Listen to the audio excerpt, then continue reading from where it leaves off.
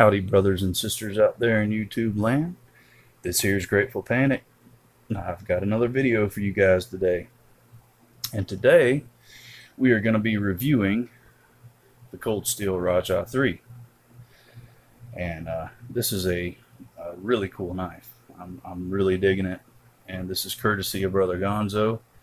And I appreciate the crap out of you uh, letting me borrow this, brother. It's been an experience. Um, and before we get into the review, let's go ahead and dive into what I was carrying today.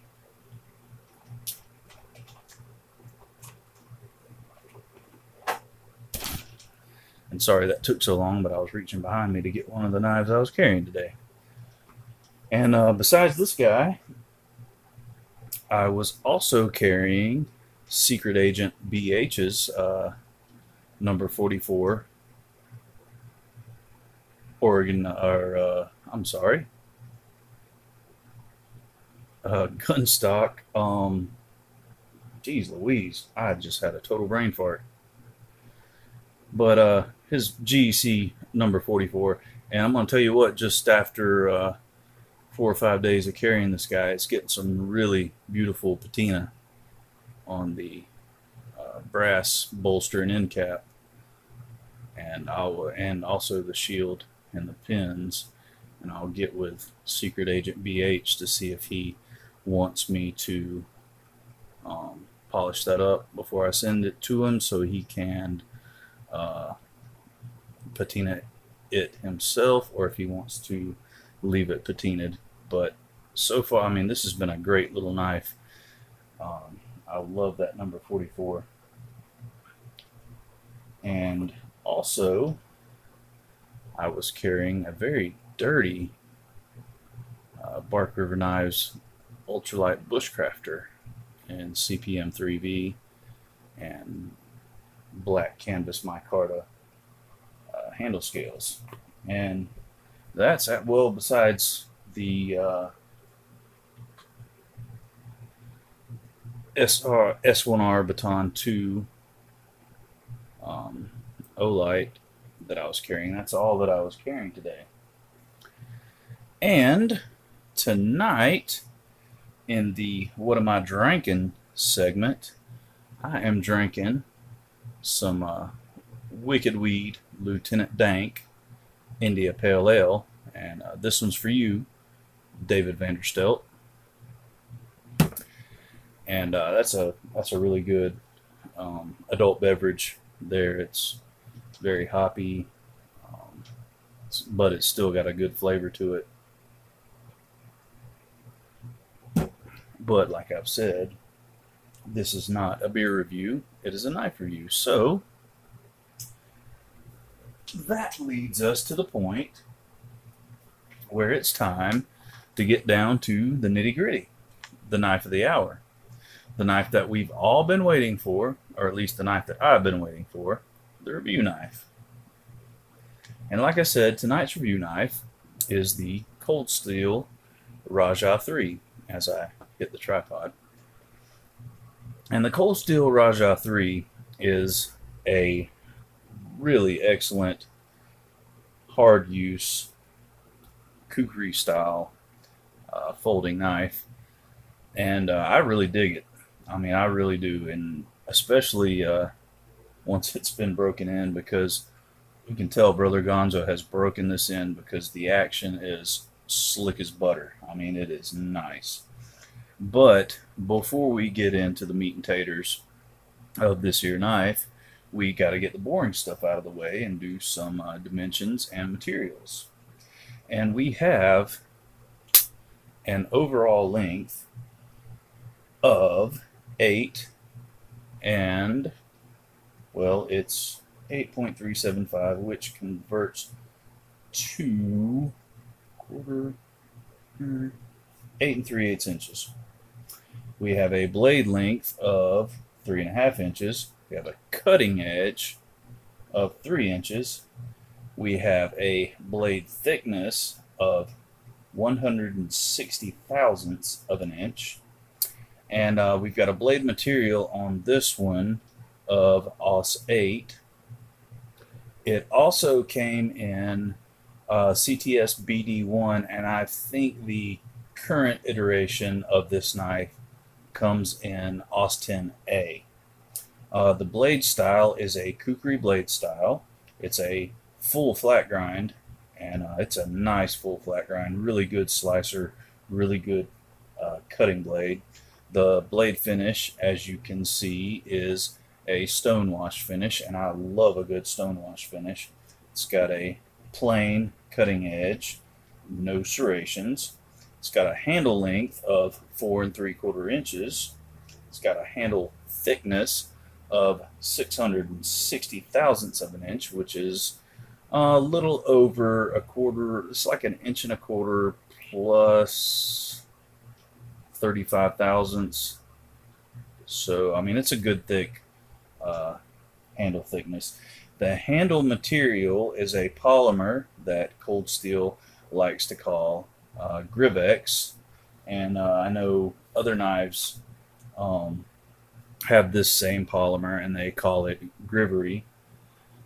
Um, let's see, it has a uh, dual position pocket clip of um, left hand, right hand, tip up only. It is a manual opening knife. There is no assistance there.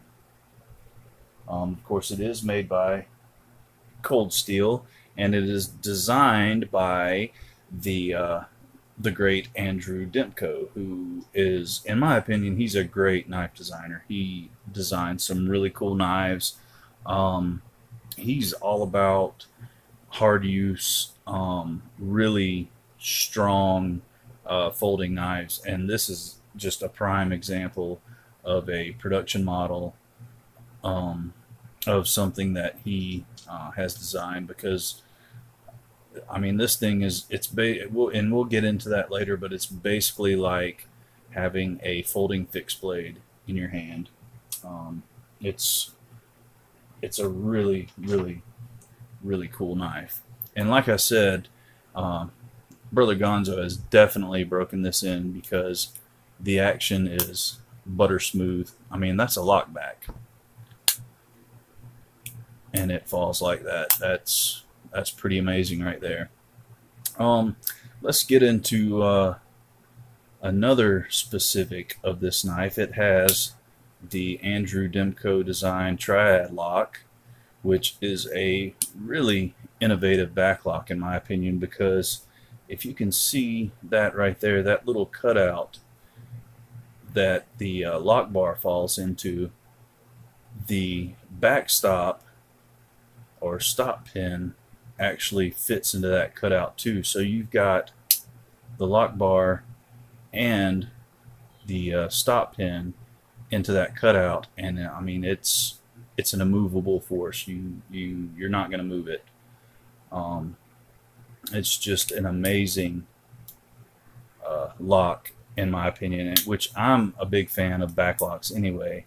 But this guy right here, just the strength of it, it, it kind of blows my mind. And uh, another really cool feature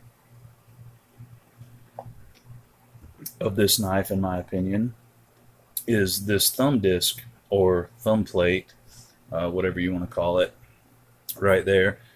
And the way it kind of hangs over it's got a waveable feature. So when you pull it out of your pocket, you know, this right here catches on the back of your pocket and pulls the knife open.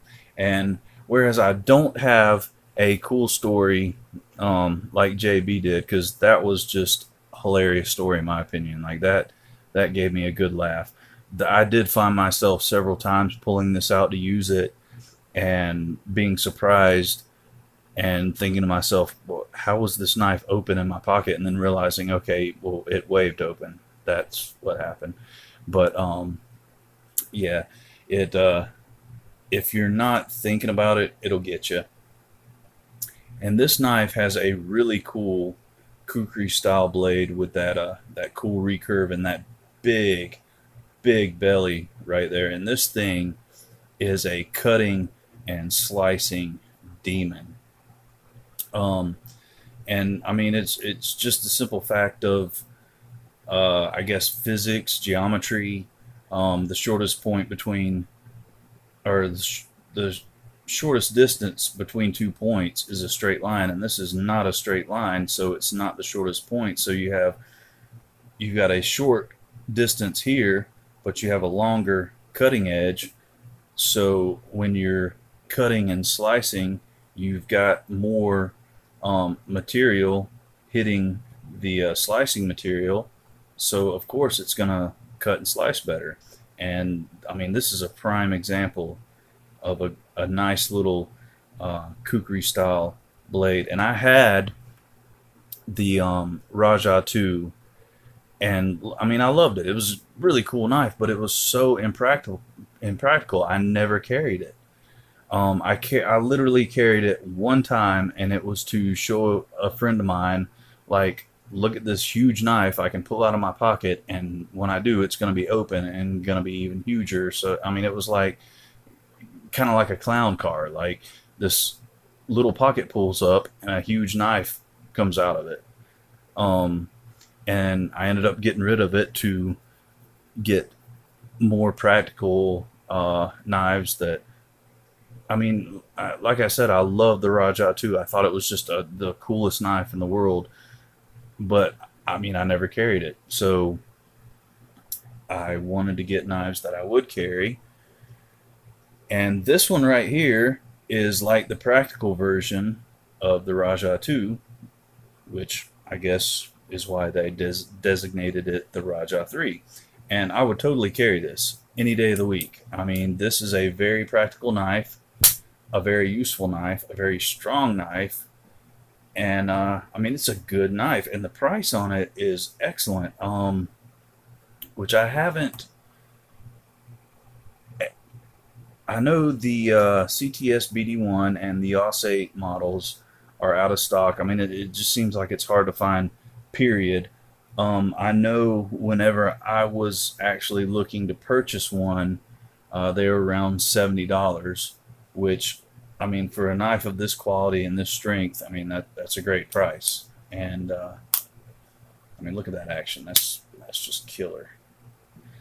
But um, I get I, I guess they're they're really kind of hard to find now. I'm I'm gonna do a little bit of uh, go- use my Google Fu and try to look this up for you guys. And if I find a link to something other than Amazon, which if if Amazon is the only uh, place to buy it that I can find, I'll definitely drop that link link down in the uh, description.